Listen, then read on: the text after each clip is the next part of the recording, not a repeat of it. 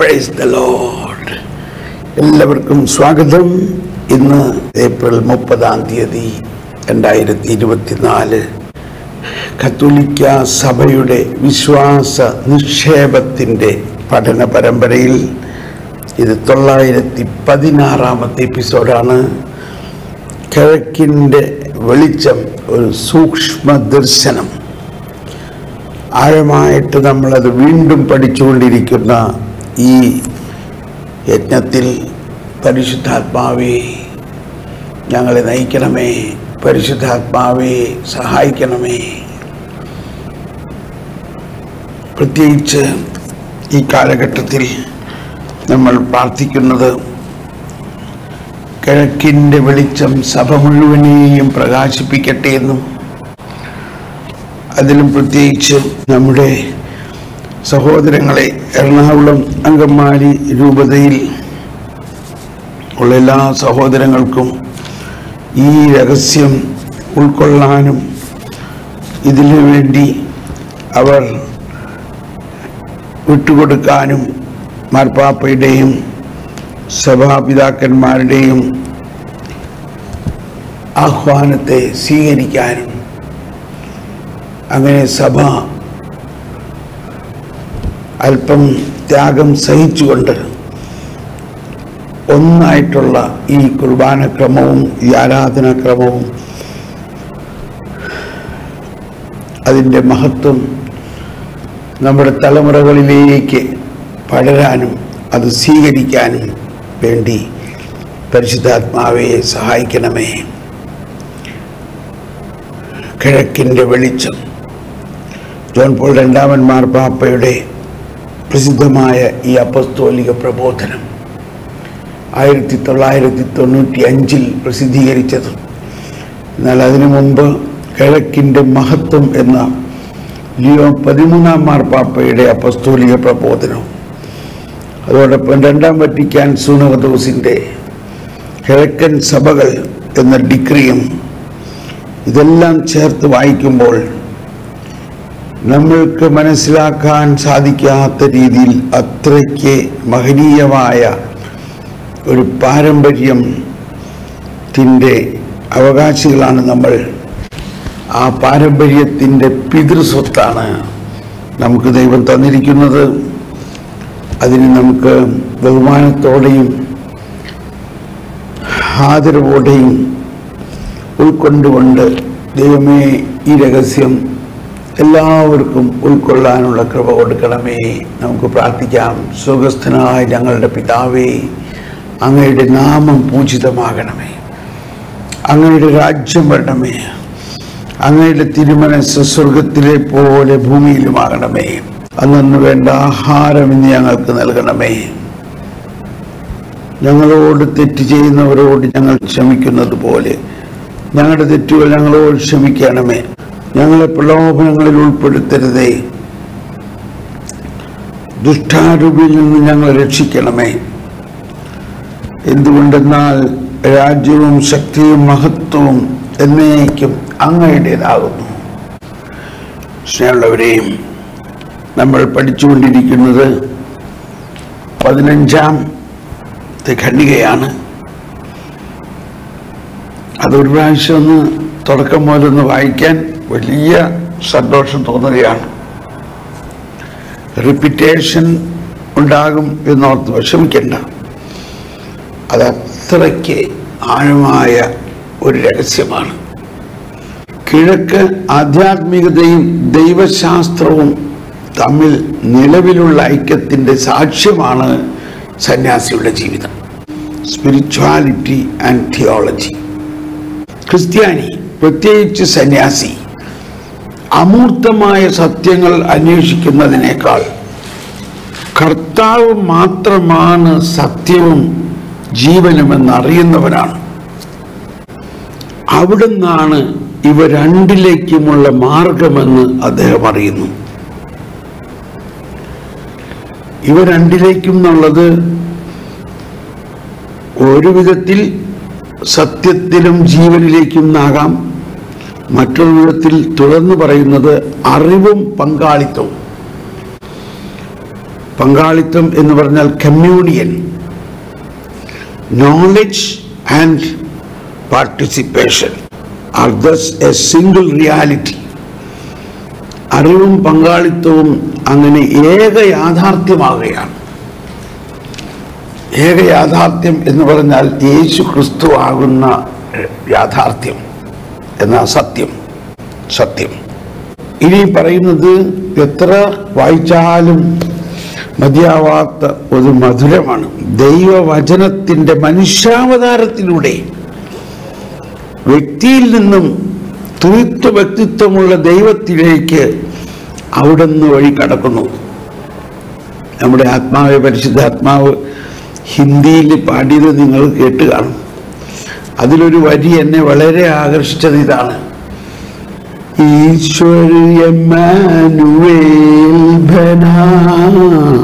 My ഉസ്കാ ബനാ. അതായത് മനുഷ്യാവതാരത്തിലൂടെ ദൈവം എമ്മാനുവേലായി. ദൈവവചനത്തിന്റെ മനുഷ്യാവതാരത്തിലൂടെ വ്യക്തിയിൽ നിന്നും ത്രിത്വ വ്യക്തിത്വമുള്ള ദൈവത്തിലേക്ക് അവിടുന്ന് വഴി കടക്കുന്നു. ഇപ്പൊ നമ്മൾ ഈശോയുടെ മനുഷ്യാവതാരത്തിലൂടെ നമ്മളെല്ലാവരും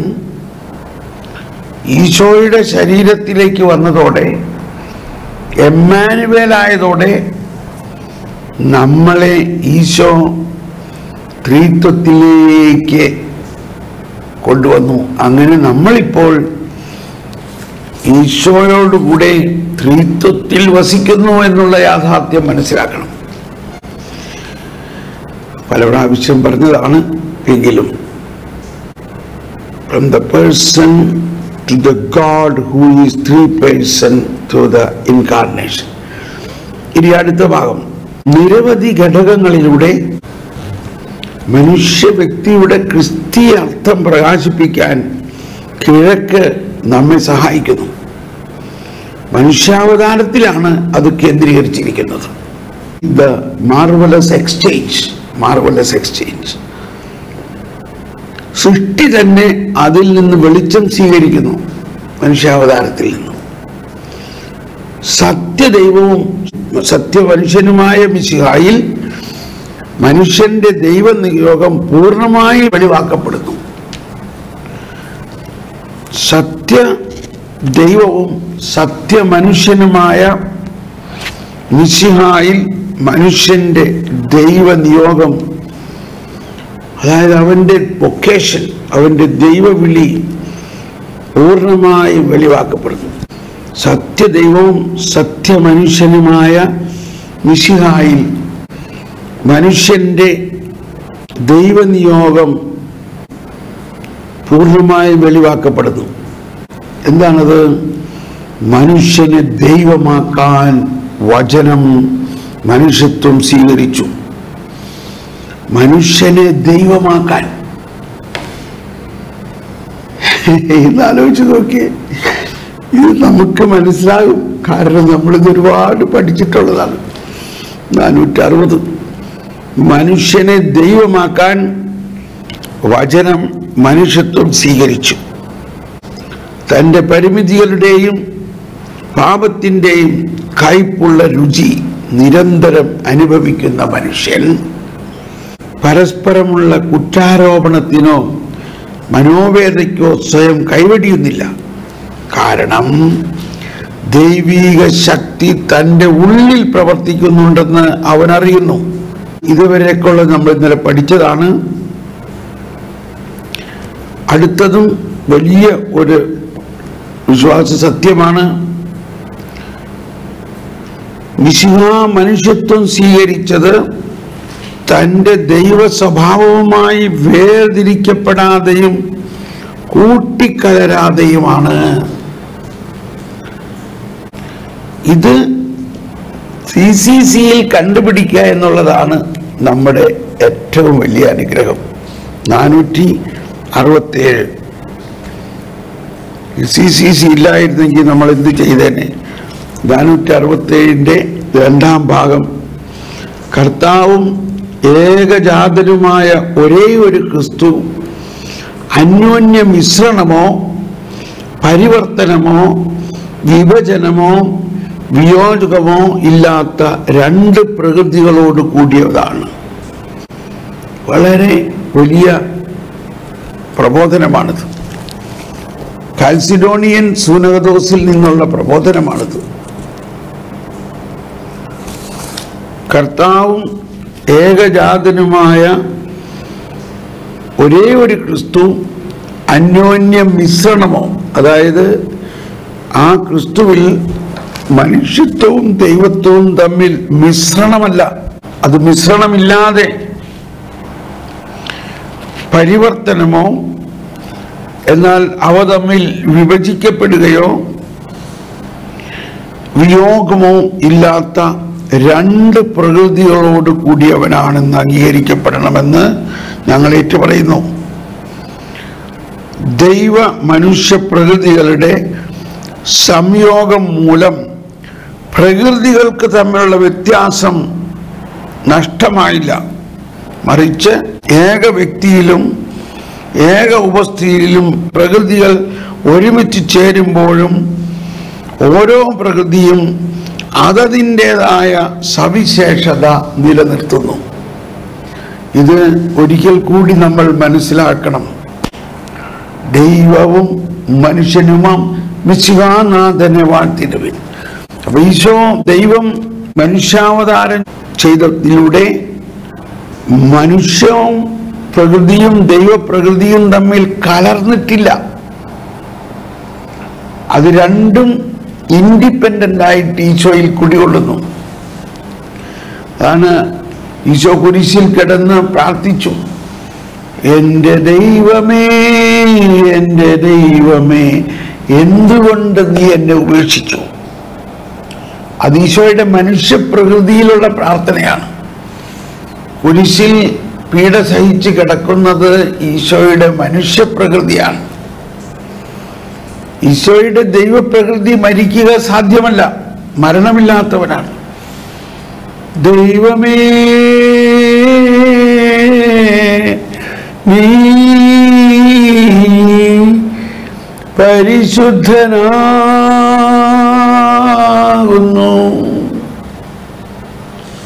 ബലവാനേ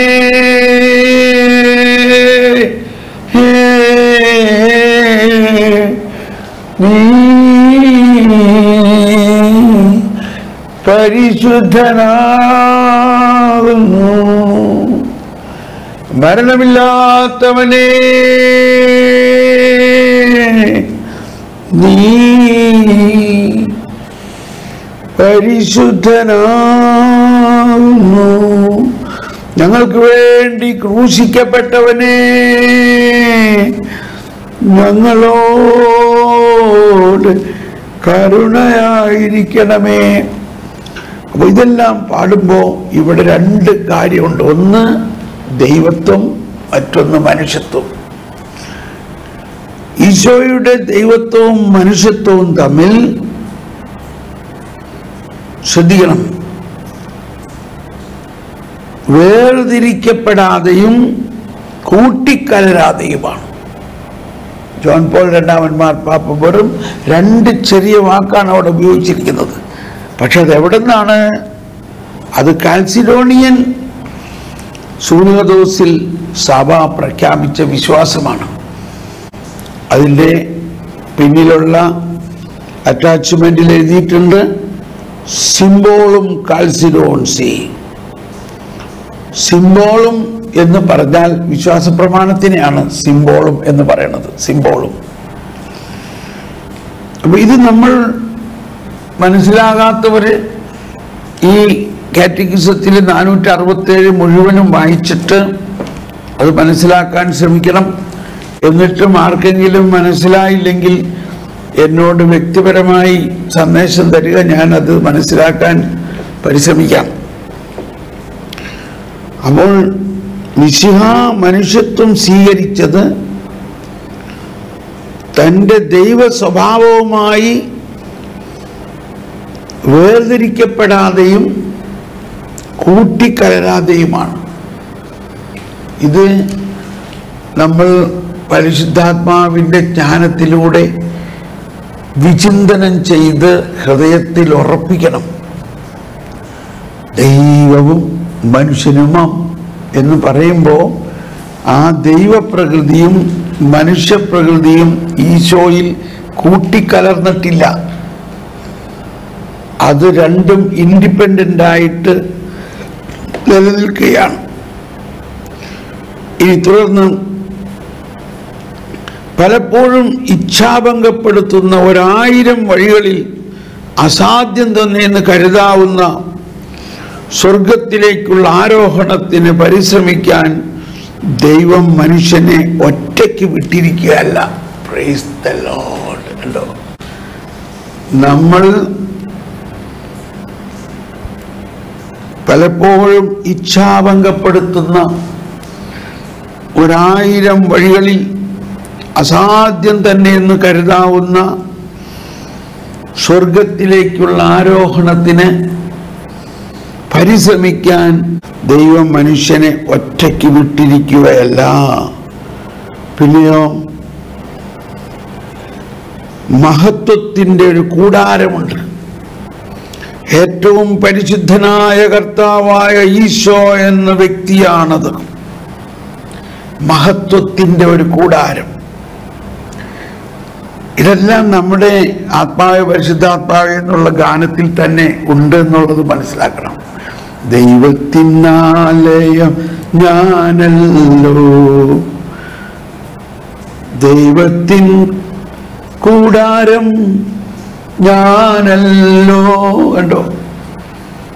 മഹത്വത്തിന്റെ ഒരു കൂടാരം. നാം ഓരോരുത്തരും ദൈവത്തിന്റെ ഒരു ടാബർനാക്കിളാണ്. ഹിന്ദിയിൽ അതിന് മഞ്ജൂഷ എന്ന് പറയുന്നത്. മഞ്ജൂഷ. മഹത്വത്തിന്റെ ഒരു കൂടാരം. അത് ഇംഗ്ലീഷിൽ ഇങ്ങനെയാണ്. Humanity was assumed by Christ without separation from his divine nature and without confusion confusion എന്ന് പറഞ്ഞാൽ കൂട്ടിക്കലർത്താതെ.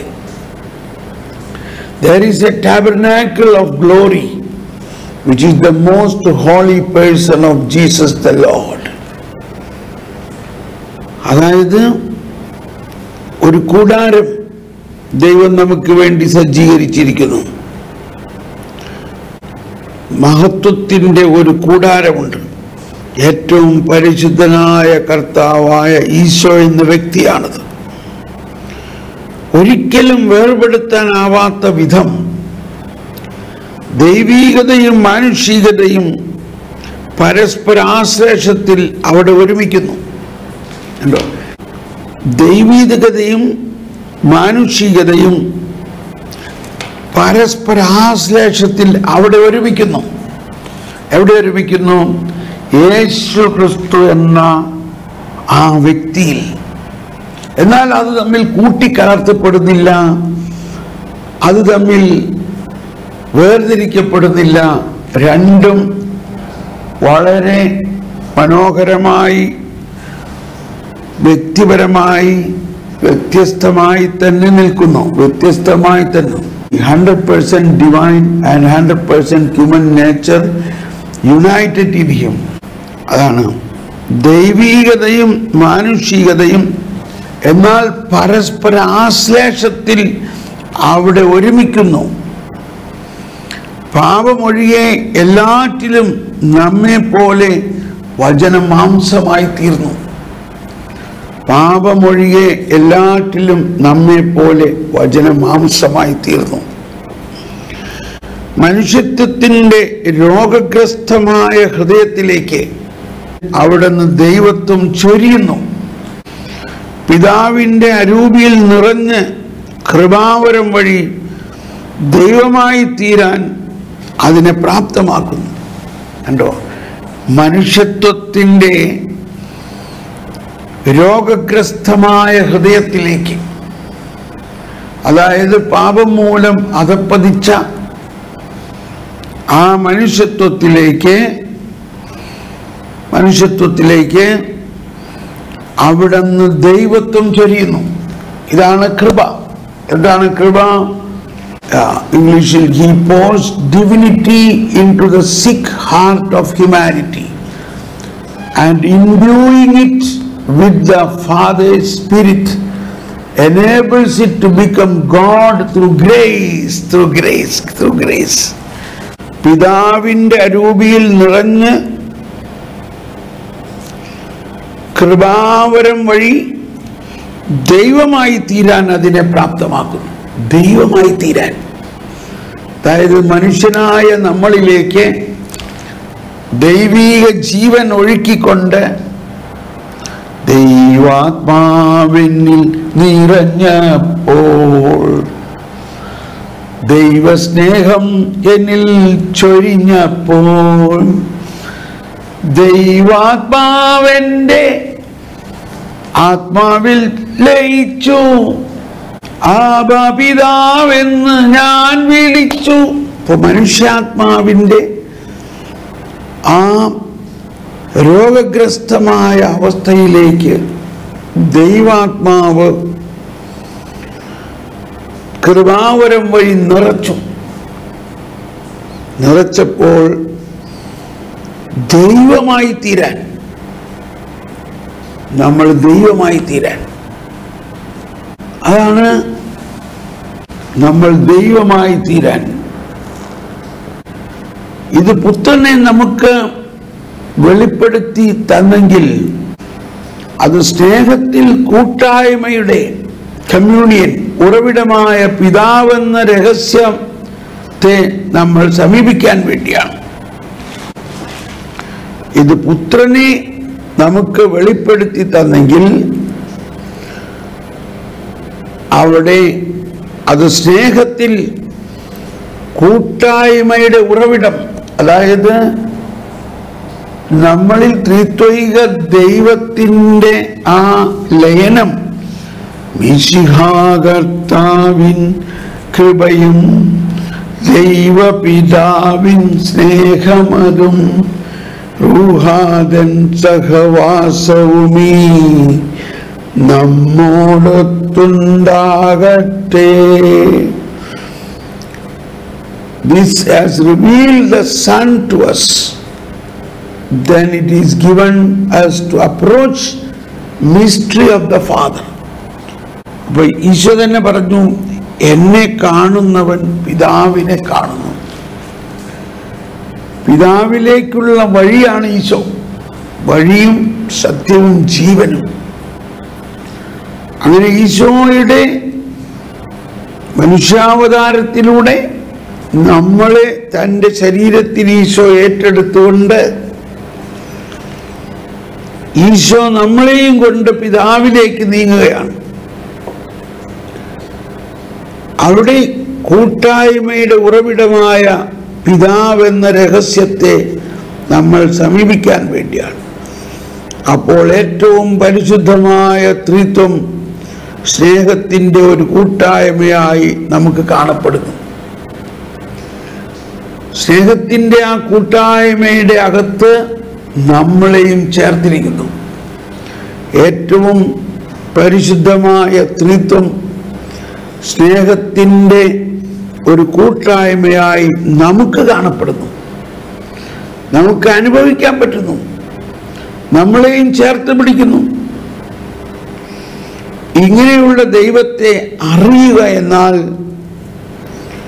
ഇങ്ങനെയുള്ള ദൈവത്തെ അറിയുക എന്നാൽ ലോകത്തോട് സംസാരിക്കാനും ലോകത്തിന് തന്നെ തന്നെ വെളിപ്പെടുത്താനുമുള്ള ദൈവത്തിന്റെ അടിയന്തര ആവശ്യം അനുഭവിച്ചറിയുക എന്നതാണ്. ഇങ്ങനെയുള്ള ദൈവത്തെ അറിയുക. എന്നാൽ ലോകത്തോട് സംസാരിക്കാനും ലോകത്തിന് തന്നെ തന്നെ വെളിപ്പെടുത്താനുമുള്ള ദൈവത്തിന്റെ അടിയന്തിര ആവശ്യം അനുഭവിച്ചറിയുക എന്നതാണ്. രക്ഷാചരിത്രം ദൈവസ്നേഹത്തിന്റെ ചരിത്രമല്ലാതെ മറ്റൊന്നുമല്ല. രക്ഷാചരിത്രം ദൈവസ്നേഹത്തിന്റെ ചരിത്രമല്ലാതെ മറ്റൊന്നുമല്ല. താൻ സ്നേഹിക്കുകയും തിരഞ്ഞെടുക്കുകയും ചെയ്ത സൃഷ്ടിയോടുള്ള സ്നേഹമാണത്. പൗരസ്ത്യ സഭാപിതാക്കന്മാരുടെ ഉൾക്കാഴ്ച വ്യക്തമായി അവതരിപ്പിക്കുന്നത് പോലെ സൃഷ്ടി ഛായക്കനുസൃതമായ ഛായയായിരിക്കണമെന്ന് ദൈവം ആഗ്രഹിക്കുന്നു. ഐക്കൺ ഓഫ് ഐക്കൺ സൃഷ്ടി ഛായക്കനുസൃതമായ ഛായയായിരിക്കണമെന്ന് ദൈവം ആഗ്രഹിക്കുന്നു. അതായത് പുത്രനായ പ്രതിച്ഛായയുടെ സാദൃശ്യത്തിൽ രൂപപ്പെട്ടതായിരിക്കുക. പുത്രൻ തന്നെ ദൈവത്തിന്റെ അദൃശ്യനായ ദൈവത്തിന്റെ ദൃശ്യമായ പ്രതിരൂപമാണ്. കൊളോസോസ് ഒന്ന് പതിനഞ്ച്. പുത്രൻ തമ്പുരാൻ അദൃശ്യനായ ദൈവത്തിന്റെ ദൃശ്യമായ പ്രതിരൂപമാണ് ദൃശ്യമായ ഛായയാണ്. ആ ഛായയിൽ നിന്നാണ് എല്ലാ സൃഷ്ടിയും രൂപപ്പെട്ടത്. അതുകൊണ്ടാണ് the icon of the icon എന്ന് പറയുന്നത്. ദ ഐക്കൺ എന്ന് പറയുന്നത് ആ ഛായ. അങ്ങനെ സൃഷ്ടിപ്രപഞ്ചം മുഴുവനും ദൈവത്തിന്റെ ഛായയുടെ ഛായയാണ്. ഓ ദൈവമേ എന്തു വലിയ കണ്ടെത്തലാണ്. ഇത് പൗരസ്ത്യ സഭാപിതാക്കന്മാരുടെ കണ്ടെത്തലാണ്. ഈ സൃഷ്ടിപ്രപഞ്ചം മുഴുവനും യേശുക്രിസ്തുവിലൂടെയാണ് ഉത്ഭവിച്ചത്. കാരണം അവനാണ് സകല സൃഷ്ടിയുടെയും ആദ്യജാതൻ.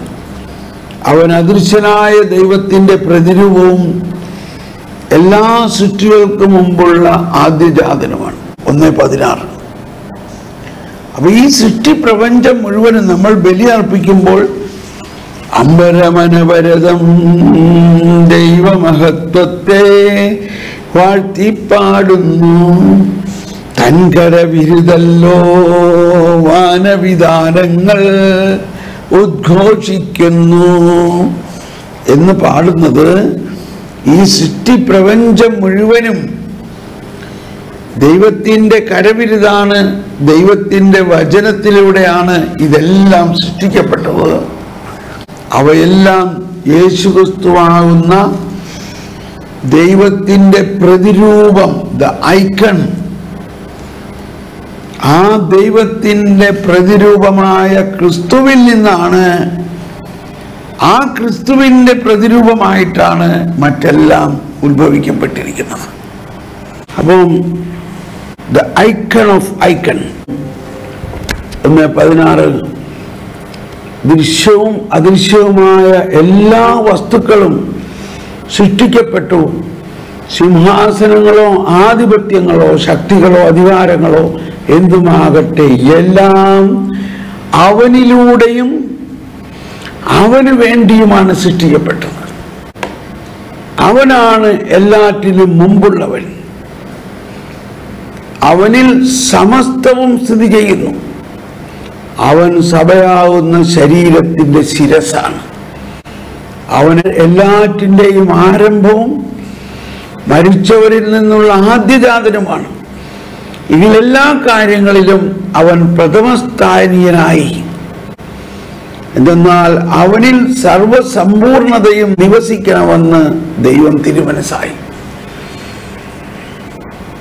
ഇതെല്ലാം നമ്മൾ പല പ്രാവശ്യം കേട്ടിട്ടുള്ളതാണെങ്കിലും ഇവിടെ വിശുദ്ധ ജോൺ പോൾ രണ്ടാമൻ മാർപ്പാപ്പ പറയുന്നത് കിഴക്കൻ സഭകളാണ് ഇതിന്റെ ഈ രഹസ്യം വെളിപ്പെടുത്തിയത്. എന്താണ്? മനുഷ്യ അവൻ അവൻ അവൻ സ്വർഗത്തിലും ഭൂമിയിലുമുള്ള എല്ലാ വസ്തുക്കളെയും അവനിലൂടെ അവിടുന്ന് തന്നോട് അനുരഞ്ജനിപ്പിക്കുകയും അവൻ കുരിശിൽ ചിന്തിയ രക്തം വഴി സമാധാനം സ്ഥാപിക്കുകയും ചെയ്തു. അതാണ് മനുഷ്യരെ മാത്രമല്ല സൃഷ്ടിപ്രപഞ്ചത്തെ മുഴുവനും കാരണം ആ സൃഷ്ടിപ്രപഞ്ചം മുഴുവനും ദൈവത്തിന്റെ പ്രതിച്ഛായയായ ക്രിസ്തുവിന്റെ ഛായയിലാണ് സൃഷ്ടിക്കപ്പെട്ടിരിക്കുന്നത്. അതാണ് ദ ഐക്കൺ ഓഫ് ഐക്കൺ സൃഷ്ടി ഛായക്കനുസൃതമായ ഛായയായിരിക്കണമെന്ന് ദൈവം ആഗ്രഹിക്കുന്നു. അതായത് പുത്രനായ പ്രതിച്ഛായയുടെ സാദൃശ്യത്തിൽ രൂപപ്പെട്ടതായിരിക്കുക. അങ്ങനെ സൃഷ്ടി പവിത്രീകരിക്കുന്നവനായ സ്നേഹാരൂപിയാൽ കൂട്ടായ്മയുടെ പൂർണതയിലേക്ക് ആനയിക്കപ്പെടുന്നു. മനുഷ്യൻ പാപം ചെയ്യുമ്പോഴും ഈ ദൈവം അവനെ അന്വേഷിക്കുകയും സ്നേഹിക്കുകയും ചെയ്യുന്നു. കണ്ടോ? പാപം ചെയ്യുന്ന മനുഷ്യനെ ദൈവം തിരസ്കരിക്കുകയല്ല ചെയ്യുന്നത്. മനുഷ്യൻ പാപം ചെയ്യുമ്പോഴും ഈ ദൈവം അവനെ അന്വേഷിക്കുകയും സ്നേഹിക്കുകയും ചെയ്യുന്നു. പരസ്പര ബന്ധം മുറിഞ്ഞു പോകാതിരിക്കാനും സ്നേഹത്തിന്റെ ഒഴുക്ക് തുടരാനുമാണിത്. തന്നെ തിരിച്ചറിയാത്ത ഒരു ലോകത്തിൽ കുരിശിൽ കൊല്ലപ്പെടുന്നതിന് സ്വയം അനുവദിച്ച പുത്രന്റെ രഹസ്യത്തിൽ ദൈവം മനുഷ്യനെ സ്നേഹിക്കുന്നു. ഓ എന്തൊരു മനോഹരമാണത്. തന്നെ തിരിച്ചറിയാത്ത ലോകത്തിൽ കുരിശിൽ കൊല്ലപ്പെടുന്നതിന് സ്വയം അനുവദിച്ച പുത്രന്റെ രഹസ്യത്തിൽ ദൈവം മനുഷ്യനെ സ്നേഹിക്കുന്നു. ഒരുവനും സ്നേഹത്തെ നശിപ്പിക്കാൻ കഴിയുകയില്ല എന്നതിന്റെ നിത്യമായ ഉറപ്പ് എന്ന നിലയിൽ പിതാവ് പുത്രനെ വീണ്ടും ഉയർപ്പിച്ചു.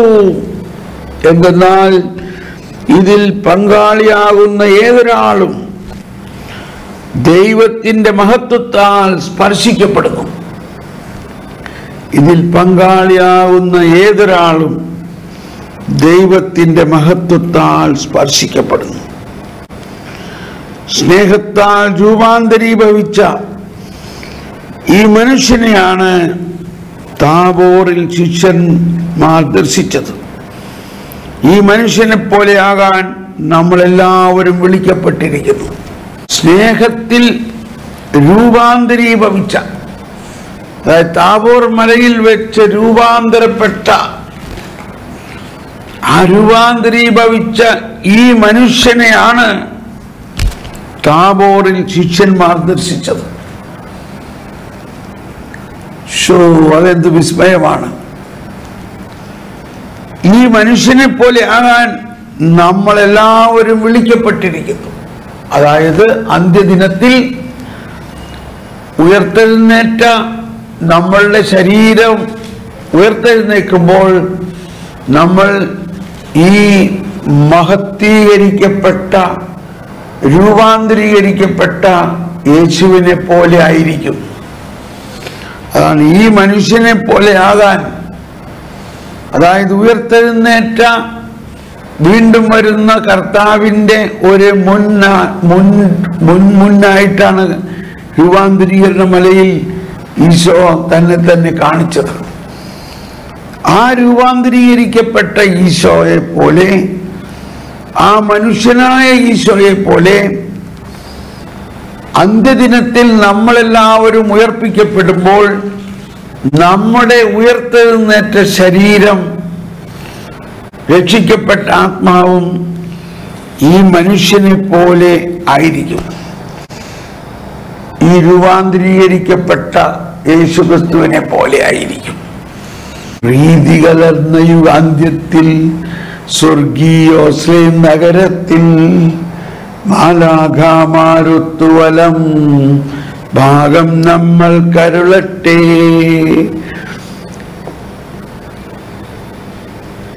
പാഴൂഴിയിലുയരും ശോശാന പൂക്കൾ പോൽ കൈപ്പണിയില്ലാത്തൊരു വസ്ത്രം ചാർത്തിയിടുമ്പോൾ ആദാ മക്കൾക്കായി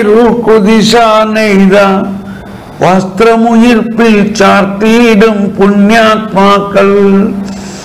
അതായത് ഈശോയുടെ വീണ്ടും വരവിൽ അഴുകിയ മനുഷ്യരെ എല്ലാവരെയും ഉയർപ്പിച്ച് അവരെ രൂപാന്തരപ്പെടുത്തുമ്പോൾ താവോർ മലയിൽ രൂപാന്തരീകരിച്ച് നിൽക്കുന്ന ആ മനുഷ്യപുത്രൻ എങ്ങനെയാണോ അതുപോലെ ആയിരിക്കും നമ്മളെല്ലാവരും മനുഷ്യരെല്ലാവരും.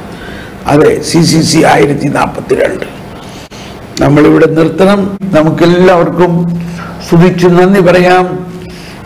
നമുക്ക് ഈ ക്ലാസ് ഇവിടെ അവസാനിപ്പിക്കാം. ഇത് വളരെ മനോഹരമായിരിക്കുന്നു.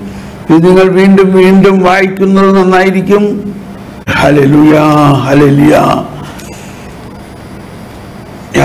കിഴക്കിന്റെ ശാസ്ത്രം ഉയർപ്പാണ്. ഹലലുയാ ഹലലുയ നമുക്ക് ഒരിക്കൽ കൂടി സ്തുതിച്ചുകൊണ്ട് ഈ അവസാനത്തെ വാക്കൊന്ന് ഉൾക്കൊള്ളാം. സ്നേഹത്താൽ രൂപാന്തരീകരിച്ച ഈ മനുഷ്യനെയാണ് താബോറിൽ ശിഷ്യന്മാർ ദർശിച്ചത്. ഈ മനുഷ്യനെ പോലെ ആകാൻ നാം എല്ലാവരും വിളിക്കപ്പെട്ടിരിക്കുന്നു. അതായത് ആ രൂപാന്തരീകരിച്ചിരിക്കുന്ന അവസ്ഥ പോലെ ആകാൻ നാം എല്ലാവരും വിളിക്കപ്പെട്ടിരിക്കുന്നു. അതെപ്പോഴാണ് ആകുന്നത് അതാണ് വീണ്ടും വരവിൽ ആകുന്നത്. അതാണ് കിഴക്കിന്റെ വെളിച്ചം. ഈശോയുടെ വീണ്ടും വരവിൽ നാം എല്ലാവരും ഉയർത്തെഴുന്നേറ്റ ശരീരത്തോടു കൂടി ആയിത്തീരും. അത് നമ്മൾ ഇപ്പോഴേ തന്നെ മനസ്സിലാക്കിക്കൊണ്ടാണ് നമ്മൾ പാടുന്നത്. മധ്യനു നിത്യമഹോന്നതമാം ഉത്ഥാനം ഞാൻ അരുളുന്നു. അക്ഷയമവനുടെ ആത്മാവിൻ ഉത്തമ രക്ഷയുമേകുന്നു അതാണ് കർത്താവേ അങ്ങ് സത്യമായി ഞങ്ങളുടെ ശരീരങ്ങളെ ഉയർപ്പിക്കുകയും ആത്മാക്കളെ രക്ഷിക്കുകയും ജീവനെ നിത്യം പരിപാലിക്കുകയും ചെയ്യുന്നു എന്ന് പറയുന്നത് അന്ത്യദിനത്തിൽ ഉണ്ടാകുന്ന ഉയർപ്പിൽ നമ്മുടെ ശരീരം അഴുകിപ്പോയ നമ്മുടെ ശരീരം ഉയർത്തെഴുന്നേറ്റ് മഹത്വീകരിച്ച് രൂപാന്തരീകരിച്ച ഈശോയെ പോലെ നമ്മളാകും രൂപാന്തരീകരണ മലയിൽ മനുഷ്യനായ യേശു രൂപാന്തരീകരിച്ച് നമ്മളെ കാണിച്ചു തന്നത്. അതുപോലെ മനുഷ്യരെല്ലാവരും രൂപാന്തരീകരിക്കപ്പെടും ഈശോയുടെ വീണ്ടും വരവിൽ എന്ന് മുൻകൂട്ടി നമ്മളെ മനസ്സിലാക്കുകയാണ്. ഹലിലുയാ ഹലിലുയാ കർത്താവേ ഞാനത് സ്വീകരിക്കുന്നു കർത്താവേ ഞാനത് വിശ്വസിക്കുന്നു കർത്താവേ ഞങ്ങളെല്ലാവരും രൂപാന്തരീകരണ മലയിലെ ഈശോയെ രൂപാന്തരീകരിച്ചു നിൽക്കുന്ന ഈശോയെ പോലെ അന്ത്യദിനത്തിലാകുമെന്ന് ഞങ്ങൾ വിശ്വസിക്കുന്നു. എല്ലാവരും അതൊന്ന് കണ്ടേ ആ രൂപാന്തരീകരണ മലയിൽ ഈശോ രൂപാന്തരീകരിക്കപ്പെട്ടു നിന്നപ്പോൾ ഈശോയോടൊപ്പം രൂപാന്തരീകരിക്കപ്പെട്ടു നിന്ന മഹത്വത്തിൽ കണ്ട മോശയും ഏലിയായും പോലെ നമ്മളെല്ലാവരും അന്ത്യദിനത്തിൽ രൂപാന്തരീകരിക്കപ്പെട്ട് കാണും ശലഹല ബല ബല ബല ബല ബല ബല ബല ബല ബല ബല ബല ബല ബല ബല ബല അന്ത്യദിനത്തിലെ ആ രൂപാന്തരീകരണത്തിനെ മുൻകൂർ നമുക്ക് കാണിച്ചു തരികയായിരുന്നു ഇതുപോലെ ആയിരിക്കും ഞാൻ വരുമ്പോൾ നിങ്ങളും എന്നെ പോലെ രൂപാന്തരീകരിക്കും ഏതുപോലെ മോശയും ഏലിയായും രൂപാന്തരീകരിക്കപ്പെട്ട പോലെ നിങ്ങളും രൂപാന്തരീകരിക്കപ്പെടും ആമേൻ ആമേൻ ആമേൻ. സ്നേഹത്തിന്റെ ചരിത്രം രക്ഷാകര ചരിത്രം. ഓ എന്റെ ദൈവമേ എത്ര വലിയ സ്നേഹമാണ് അങ്ങ് ഞങ്ങളോട് കാണിച്ചിരിക്കുന്നത്. ആമേൻ ആമേൻ ആമേൻ. Praise the Lord praise the Lord praise the Lord thank you എല്ലാവർക്കും നന്ദി.